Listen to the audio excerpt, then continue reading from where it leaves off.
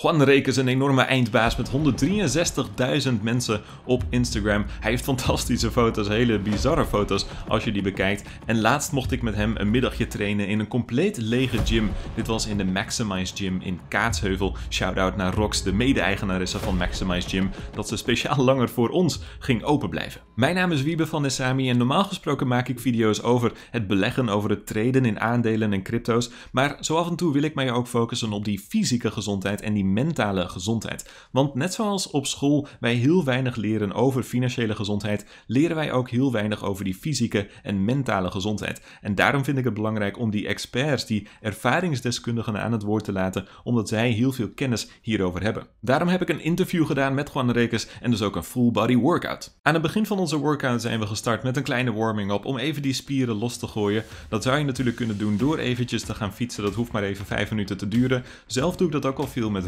Zelf ga ik ook wel vaak iets van 5 minuten roeien. En daarmee zorg je ervoor dat het hele lichaam lekker in beweging komt en dat al die spieren goed los worden voordat je start met die workout. Ik had gewoon naar Rekers gevraagd om een full body workout te gaan doen om al die spiergroepen te trainen die wij in ons lichaam hebben. Er zijn natuurlijk zes spiergroepen: buikspieren, armspieren, rugspieren, borstspieren, schouderspieren en beenspieren. Dus in principe hebben wij al deze spieren getraind. Juan doet meestal zelf iets van 3 tot 4 sets van 8 tot 12 repetitions, 8 tot 12 herhalingen.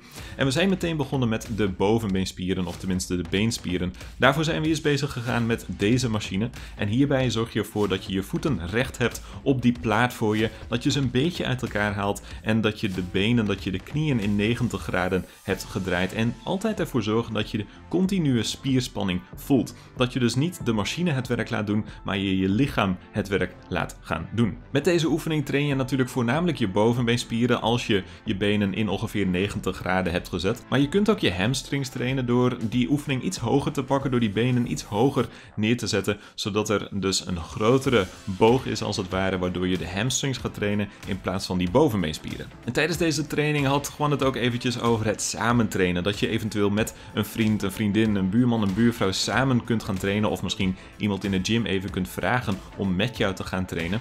Want het heeft namelijk veel voordelen. Onder andere dat je jezelf meer kunt uitdagen, dat je meer uit je comfortzone kunt gaan treden. Want heel vaak als je in je eentje traint, en dat merk ik zelf ook heel vaak in mijn eigen workouts, dan doe je meestal wat veilig is. Dan doe je meestal, dan pak je het gewicht dat voor jou oké is. Maar dan ga je dus minder snel uit jouw comfortzone. Als jij er iemand bij hebt, als je een vriend of een vriendin of wat dan ook erbij hebt, dan kun je jezelf meer uitdagen. Kun je nog net even een paar uh, repetitions meer doen of net even een kilootje extra gaan pakken om jezelf nog meer te gaan uitdagen. Je lichaam gaat natuurlijk al heel snel wennen aan een bepaalde workout, dus zorg altijd ervoor dat je jouw lichaam blijft uitdagen, dat je je lichaam blijft verrassen. En dat uitdagen doet Juan zelf ook met zijn klanten. Hij geeft één op één les aan mensen om die fysieke gesteldheid beter te laten worden, zodat de mentale gezondheid ook vooruit gaat. En wat hij doet is, hij doet meestal 3 tot 4 setjes van 8 tot 12 repetitions. En na die 8 tot 12 repetitions gaat hij nog even die persoon uitdagen om nog een repetition te doen. Eentje voor je moeder, eentje voor je vader, eentje voor je zus, eentje voor je broer, etcetera, etcetera. Om toch nog even die persoon meer uit te dagen. Vervolgens zijn we doorgegaan naar deze machine en hiermee hebben we voornamelijk onze bovenbeenspieren getraind. En Juan kiest er vaak voor om meer te concentreren op één been in plaats van beide benen. Natuurlijk kun je ook beide benen tegelijkertijd trainen met deze machine. Maar als je één been traint, dan kun je heel erg focussen op één bepaalde spier in één bepaald been.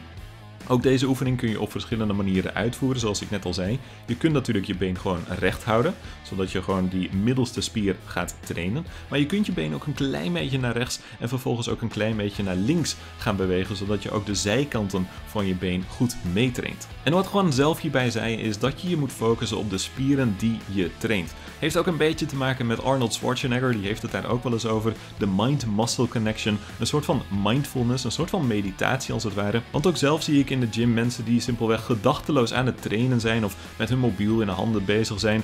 Maar Arnold Schwarzenegger en ook de rekers die zeggen: oké, je moet ervoor zorgen dat je mind je lichaam gaat begeleiden. Ga nou eens nadenken over elke beweging, over elke samentrekking. Richt je nou eens op de spieren die jij precies traint. En als je gedachten afdwalen, dan kun je je mind weer terugbrengen naar die beweging toe. Om nogmaals te gaan focussen op die spier die je aan het trainen bent. En bij deze oefening, en eigenlijk bij alle oefeningen, is het heel belangrijk om die spierspanning altijd actief te houden. Ervoor zorgen dat jouw been altijd op spierspanning staat en dat je er niet voor zorgt dat de machine het werk overneemt. Dat je de machine of dat je het gewicht gewoon lekker op de machine laat rusten, maar altijd ervoor zorgen dat het gewicht op jouw been blijft. Vervolgens zijn we doorgegaan naar het bankdrukken om meer die borstspieren te gaan trainen.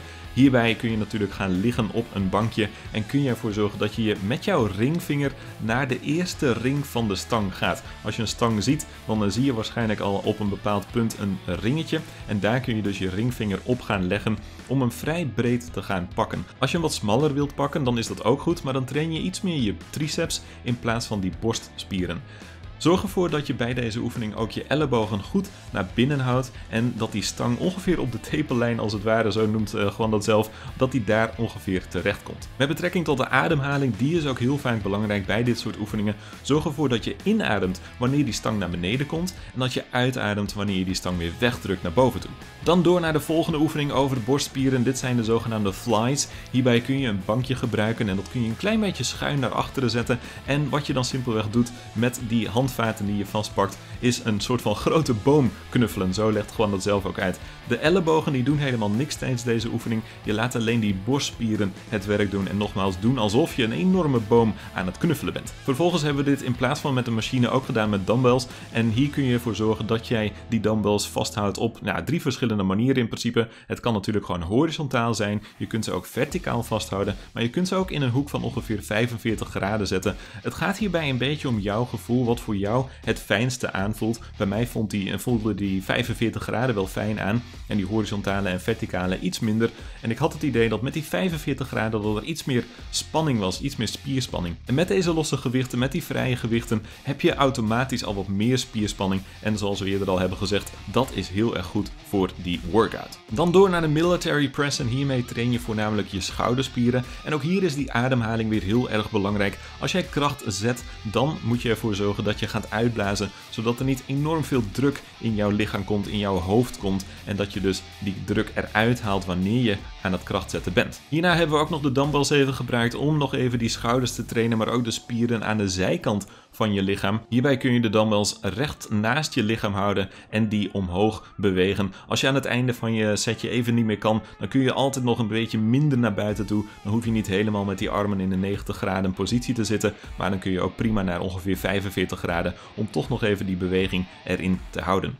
En wat hier heel belangrijk is, is dat het een gecontroleerde beweging is. Dat je niet je hele lichaam laat meebewegen, want die juiste uitvoering die is enorm belangrijk. Wat je bij deze oefening ook nog kunt doen, is dat je de dumbbells een klein beetje naar binnen draait, alsof je een flesje aan het leeggieten bent. Zo uh, legt er gewoon dat zelf uit. En daarmee zorg je ervoor dat het een klein beetje zwaarder wordt voor jouw armen. Als je trouwens geïnteresseerd bent in nog meer video's over die fysieke gezondheid, mentale gezondheid, maar ook die financiële gezondheid, dat je goed kunt omgaan met je geld, dat je kunt gaan beleggen in aandelen en crypto, zorg dan dat je je abonneert op dit kanaal. Dan door naar de pull-ups en hierbij train je meerdere spieren tegelijkertijd, onder andere natuurlijk je rug, maar in principe train je vrijwel volledig je hele bovenlichaam.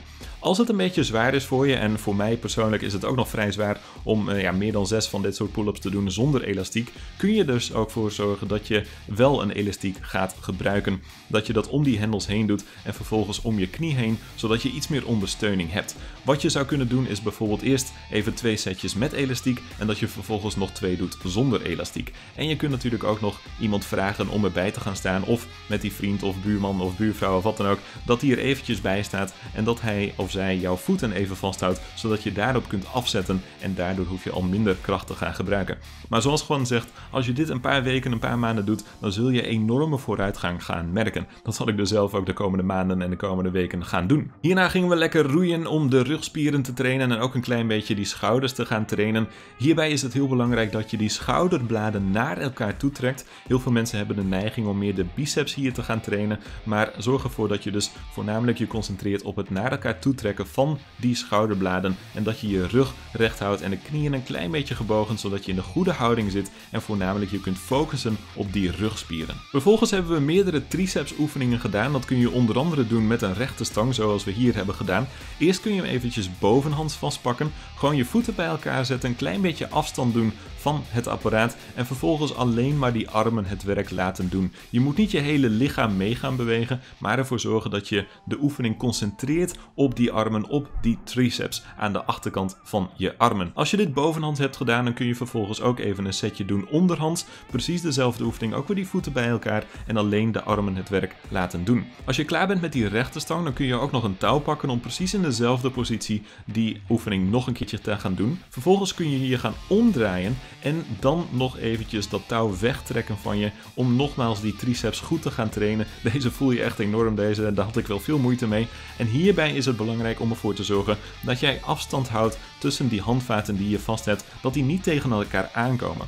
Want dan maak je het voor jezelf gemakkelijker. En als je een beetje afstand houdt, dan is het automatisch zwaarder. En dan train je meer die biceps. En ook hier is het belangrijk om ervoor te zorgen dat je dus alleen die armen, alleen die triceps aan het werk laat. En dat je je schouders simpelweg stilhoudt. Alleen dus die armen. Dan door naar de biceps en hierbij hebben we simpelweg gebruik gemaakt van dumbbells. Hierbij kun je eerst je ene arm doen, vervolgens weer je andere arm, dan weer de ene arm, dan weer de andere arm. En wat hierbij heel fijn is en heel goed werkt, is dat je je arm net een klein beetje doordraait naar buiten toe, zodat je die oefening echt op het hoogste punt van je biceps gaat pakken en zodat je voornamelijk dat stukje kan gaan trainen. Ook hierbij is het heel belangrijk dat je je lichaam niet volledig laat meebewegen, maar dat je alleen je armen het werk laat doen. Voor de biceps hebben we ook nog even gebruik gemaakt van een machine. Hierbij kun je simpelweg de handvaten oppakken met je handen open en dat je alleen maar die biceps het werk laat doen. Hierbij is het ook weer belangrijk om die spierspanning aan te houden wanneer je armen weer naar beneden gaan. En tijdens deze oefening hebben Juan en ik ook nog even gesproken over het verschil tussen machines en losse gewichten. Bij machines, zij bepalen meestal de richting van de oefening. Dus dan kun je heel gericht jouw spieren gaan trainen. Als je daarentegen losse gewichten gaat gebruiken, dan train je meestal meerdere spieren tegelijkertijd. Dat zijn de zogenaamde compound oefeningen, samengestelde oefeningen waarbij je dus meerdere spiergroepen traint tegelijkertijd. Terwijl bij die machines dus heel erg de focus ligt op één bepaalde spier of een paar hele specifieke spieren. Dit was de volledige workout die ik met Juan Rekers heb gedaan. En nu kun je voorstellen, huh, maar je hebt helemaal die buikspieren niet getraind. Nou, Juan Rekers die zegt hierover dat hij bijna nooit de buikspieren direct aan het trainen is, omdat ze ook indirect worden getraind in andere oefeningen die hij doet. En als je de foto's bekijkt van Juan Rekers op Instagram, nou, hij heeft ze zeker hoor, die buikspieren. Ook hebben Juan en ik het nog even gehad over die lange termijn visie, dat dat enorm belangrijk is.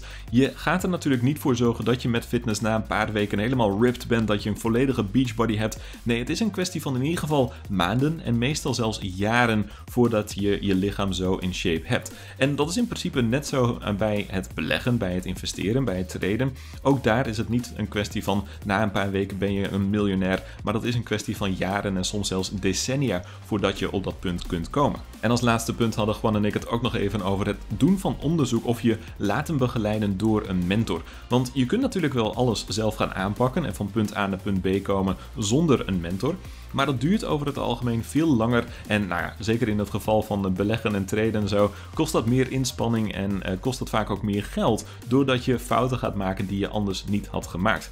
Maar dus ook in de wereld van fitness, als je daar zonder mentor van punt A naar punt B gaat in de wereld van fitness, dan duurt dat over het algemeen langer en kan het vaak zijn dat je verkeerde bewegingen maakt, dat je de oefeningen niet op de juiste manier uitvoert. Dus ook hier kan het verstandig zijn om een mentor erbij te gaan pakken, om een personal trainer erbij te gaan pakken en dat die persoon jou kan vertellen wat jij het beste kunt doen en hoe jij de oefeningen op de juiste manier kunt gaan uitvoeren. Mocht jij na deze video nog vragen hebben over fitness en sporten, stel ze zeker hieronder. In de toekomst wil ik nog een video doen waarin ik die vragen ga beantwoorden met Juan Reken zelf of iemand anders die heel veel over fitness weet. Ten slotte wil ik natuurlijk Juan Reken zelf nog bedanken voor de fantastische middag die ik heb gehad met hem om deze workout te mogen doen. En ook wil ik Rox van Maximize Gym enorm bedanken voor de gulle tijd die zij ons heeft gegeven. Ik heb na deze workout ook nog een interview met Juan Rekers gedaan. Dat volledige interview over fysieke, mentale en financiële gezondheid vind je aan de linkerkant van je scherm. Heel veel plezier daarmee en laat nog even weten wat je vragen zijn hier in de opmerkingen hieronder. Bedankt voor het kijken en tot de volgende keer. Ciao ciao!